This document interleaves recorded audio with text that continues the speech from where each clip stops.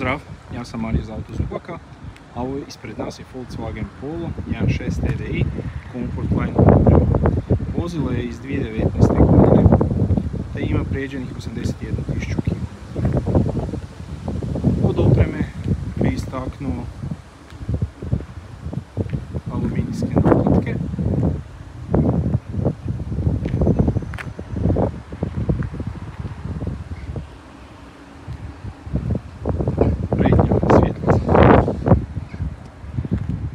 te dnevna svjetla,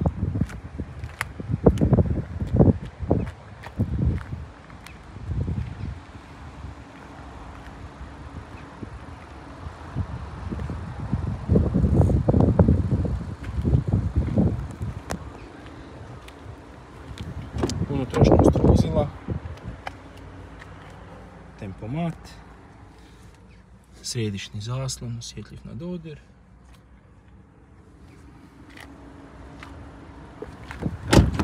straga individualno preklopiva sjedala,